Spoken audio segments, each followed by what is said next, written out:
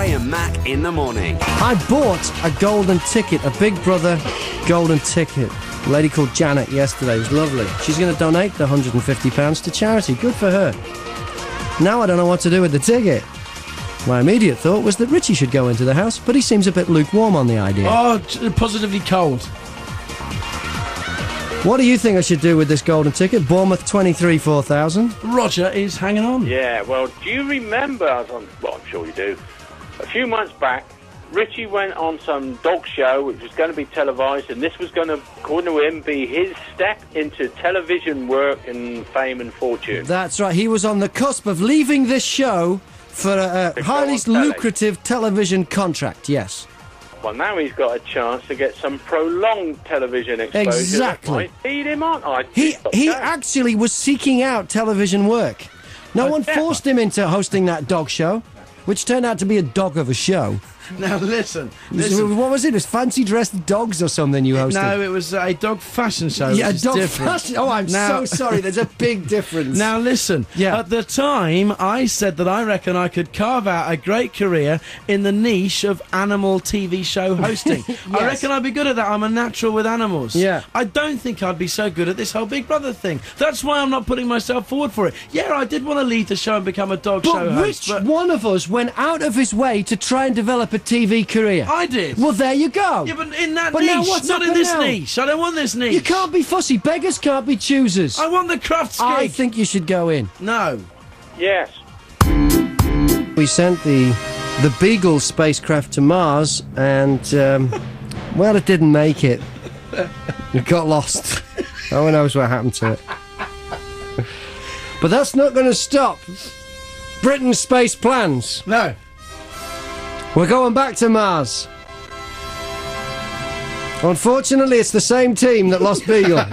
yes. So, the name of the new probe Bridget. Bridget. Bridget has landed. now, there are pictures of Bridget. Yeah. Bridget looks like a six wheeled pram. You're quite right, Graham. Some of the technical um, spec of Bridget. Yes. A top speed of 0.1 mile an hour. And a 20 minute delay in radio contact from the probe to Earth. Now, that's going to cause some problems, isn't it? Yes. It's going to. Hey, Colin, uh, are we going to hit that rock there? Yeah, we are. Better tell the probe to turn right. 2CRFM's Breakfast. Buckingham Palace, good morning. Hello, it's Graham Mack uh, calling and Richie. from 2CRFM in Bournemouth. We wanted to wish the Queen a very happy 80th birthday. Okay, that's lovely. Thank you very much. Oh, hang on, hang on, hang on. Is she there? Hello? I'm sorry, I don't give out information like that. What, you can't say whether she's there or not? Well, it should be obvious. The flag will be up. Well then, Well, we, oh, right, so you, we can't talk to her. no. Okay, well, can you pass this message on? Yes, I will. Happy birthday to you. Happy birthday to you. Happy birthday, dear Lizzie. Happy birthday to you. Now, as you know, I bought a golden ticket from a lady called Janet who works at Seawin. I've registered it. They've done a lot of background checks on me. There's a police check hang, hang, going on right now, and nine o'clock I've got to drive straight to London to be there for twelve thirty for screening. They reckon that'll take five hours. They're doing psychometric tests. What the hell's that? Is that level? How do you cheat on one of them? Can someone tell me? I don't think you can. Whatever. Uh, they say I'll be in the diary room today. I'm guessing they're just going to film a bit to pitch for why I should go into the Big Brother house. Yeah. To be shown on telly on Friday night, I reckon. Well, if I get through this today, I'll be on the TV show on Friday Yeah. night, and someone from that, one of the golden ticket holders, will be sent into the house. Oh, then it's big time. So since this has all been going on, and Big Brother's been phoning me on my mobile a lot, uh, I've been watching the show as much as I can because I've got to get up to speed because I didn't watch it that much before. I knew it was on. I was interested in it. You hated it. All right. Well, bloody hell, they could be listening, Rich. Don't ruin it for me. okay. I'm pretending I'm a big fan here. Okay, right. 2CR FM. Our favourite story of the morning is the BBC, who interviewed a taxi driver thinking he was an IT specialist. It was a bit of confusion. The runner ran out to get him from the reception. The IT specialist had gone to the toilet. The taxi driver was there holding the guy's name badge. Next minute, he's live on TV, asked about the iTunes Apple thing. Yeah, the court and the and bloke that. played along with it live on TV. Would a Dorset taxi driver do that? Let's cross now live to Thunder Amy. Where are you right now, Amy? I'm outside the train station. Okay, now what we want you to do is find the taxi driver there. Tell him you're a 2CRFM news reporter and you're live on the air and your guest has not showed. Tell him he has to pretend to be the guest. We want to see if the taxi driver Yes. will play Will along. go with? Okay, where you go, Amy? Hiya, excuse me. I'm really, really sorry, but I'm supposed to be interviewing someone today and they just haven't turned up. I was wondering, his name's Dr. Saunders. He's from the IT Institute. Would you help me out? Because we're going to go live in a minute. And we just need, I just need someone just to pretend to answer the questions for the IT. Go on. Well, five, four, three, two, one. Hi. Hi, Graham. I'm with Dr. Saunders from the IT Institute. You okay today? Yes, thank you. Oh, brilliant. Dr. Saunders, were you surprised by the verdict on Friday? Uh, not really. Not really, not me. That's fine, that's fine. Um, well, do you think will uh, more people be downloading now? I would think so, yes. Yeah, why do you think this is? Well, if they can get away with it, they're going to do it, aren't they? And is this the way the music industry is progressing now? Unfortunately, yes.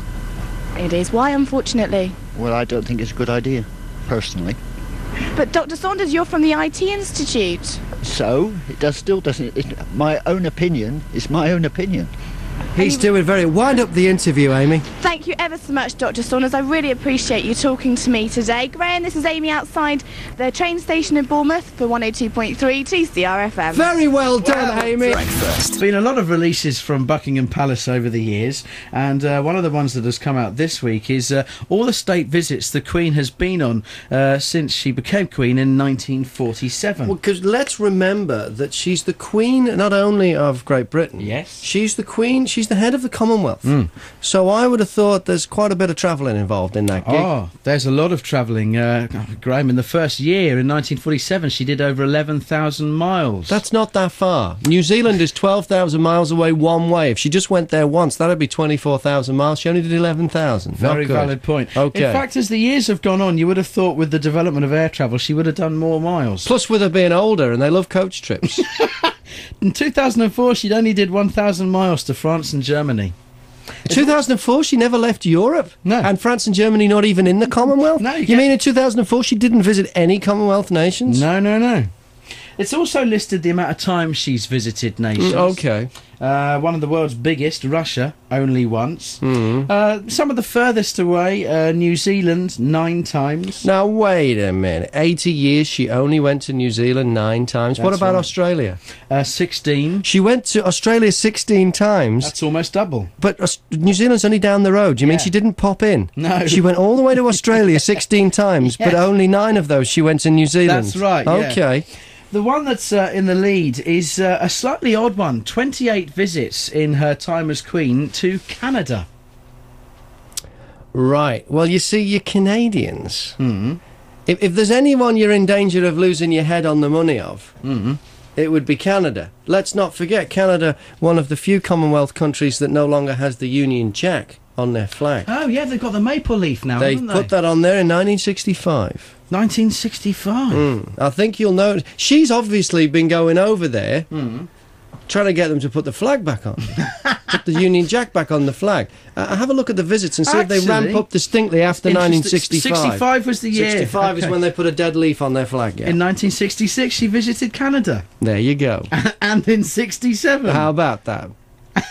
And in 1970, twice. Yeah. And in 71. They must be getting sick of her. 28 times? Oh, jeez, it's not her again. It's not the hat lady. I was just wondering about this flag.